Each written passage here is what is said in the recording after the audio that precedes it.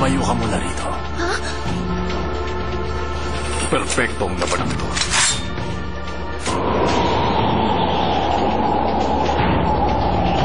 Sasuke, Madara, humanda kayong dalawa. Kukunin ko ang mga sharingan nyo. Si Danzo. Ano kayang mga teknik ang ginagamit niya? Imposible! Yung kanang kamay ni Danzo! Puno ng mga mata na may sharingan! Paano mo nakuha yung mga nakalagay sa kamay mo? Huwag kang mag-alala dahil desidido pa rin akong patayin ka.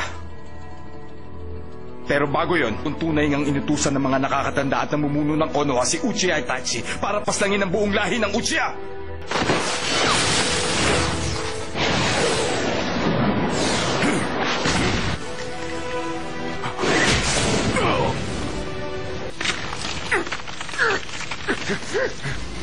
Hoy, tatanungin uli kita.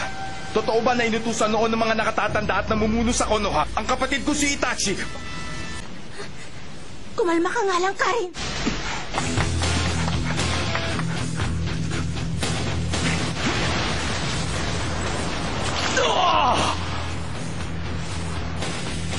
Ay mananatiling parang panaginip lamang.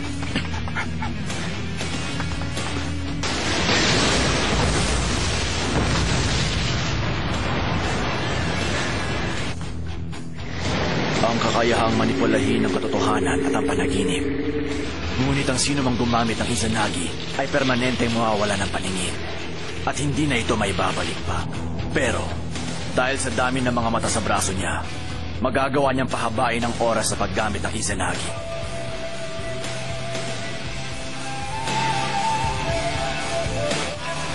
Wala talaga siyang plano makipaglaban sa akin. Kaya hinahayaan niya lang si Sasuke. Kaya nga lang, hindi pala ganun kadaling talunin ang Susano. Baka matagalan ako. Konting oras na lang ang natitira sa Izanagi. Summoning Technique!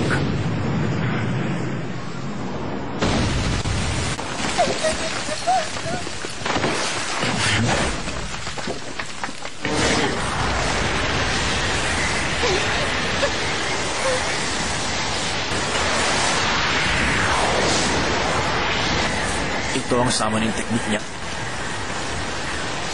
Hindi siya pwedeng mawala sa paningin ko. Kahit na ano pang mangyari.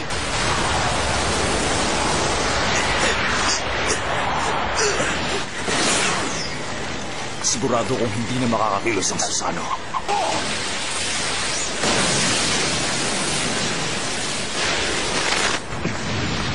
Ang kainaan ng Susano ay nandito!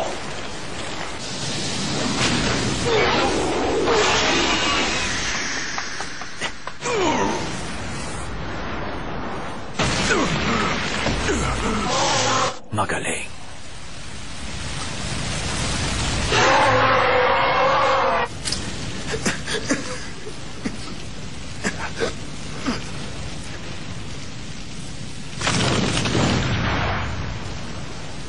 Fifty-eight, fifty-nine, sixty.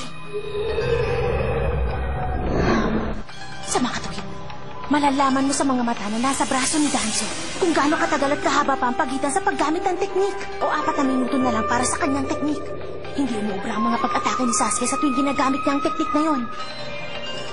Balak niyang pagurin si Sasuke at ubusin ang lahat ng chakra niya hanggang sa hindi na ito makalaban. Sa oras na magsara ang sampung mata na may saringgan sa braso mo, yun na rin ang katapusan ng teknik mo, hindi ba? Hoy, nababaliw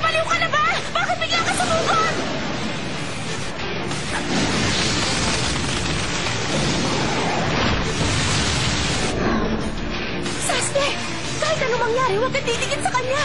Patagalin mo ang laban! At kapag nangyari yon, sigurado akong ubus na ang chakra ni Sasuke.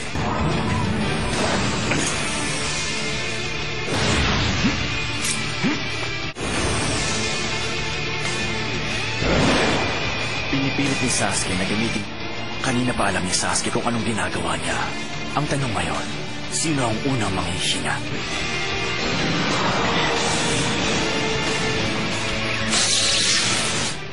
na magkakaalaman. Ilang uchiha na ba ang pinatay mo? Ikaw ang nag-utos sa kanya para gawin yan!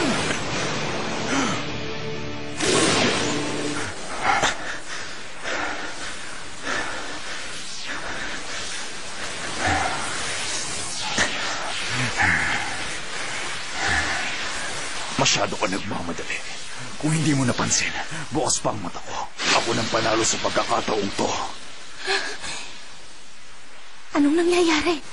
Iniisip mo sigurong naiintindihan mo na ngayon ang Izanagi. Ibig sabihin ito. Ah! Ba't ganon? Ba't hindi gumagana ang Izanagi? Kagaya na rin ang sinabi mo. Ibang-iba ang genjutsu ni Sasuke sa genjutsu ni Itachi.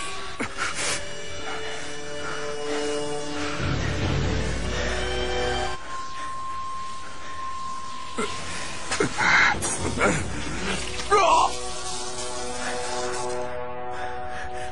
nga ang tunay na Danzo!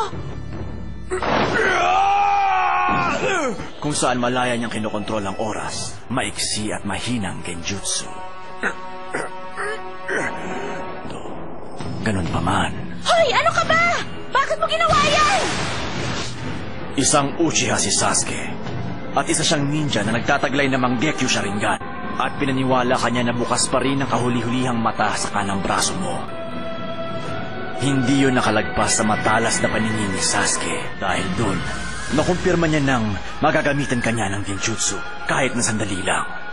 Ang kayabangan mo ang nagdulot ng pagkatalo mo. Mahirap kang kalabanin ng mga mata mo. Ganun pa man, nagawa mo pa rin siyang isalya sa isang sulok, Sasuke.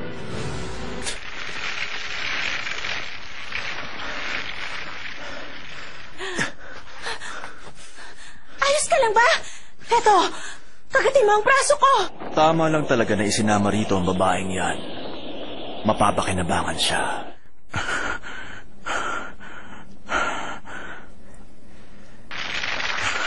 Sa dinami-dami ng tao, bakit sa batang ito pa ako nagpatalo? Hindi! Nanghihina na siya.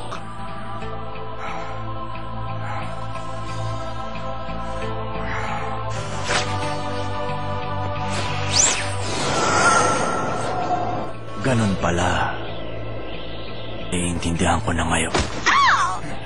Mukhang inaalam pa niya kung gagamitin niya ang mata ni Shisui sa genjutsu. Mukhang nasobra na ang paggamit mo sa paningin mo. Tulungan mo ako, Sasuke! Hindi ako dapat makaksaya ng oras. Malalim ang sugat ko.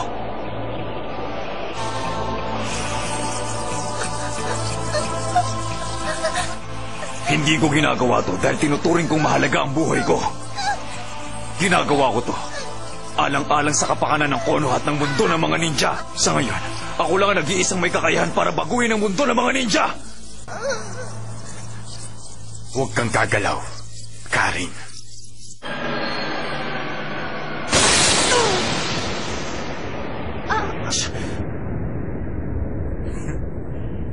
Yan nga ang gusto kong makita.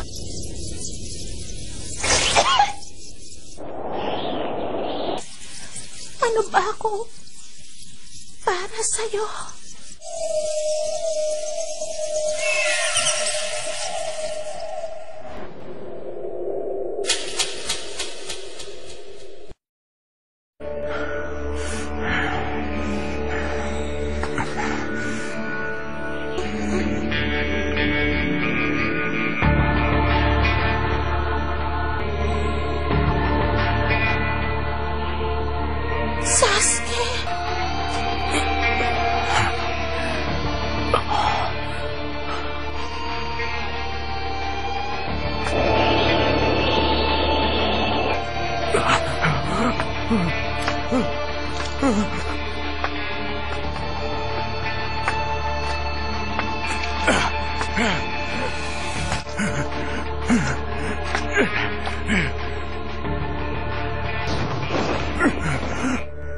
Kukunin ko na ang mga mata ni Shisui. Kung ganun, kinuha niya ang mata ni Shishui.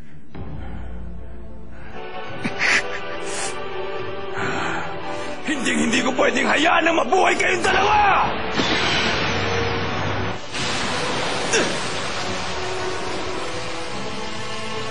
Hirozen, kung saan nagsasayaw ang mga dahon ng puno, doon matatagpuan ang apoy para ng protektahan ng Konoha.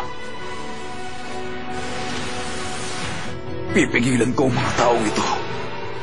O, hindi ko na talaga magagawang makahabol sa'yo.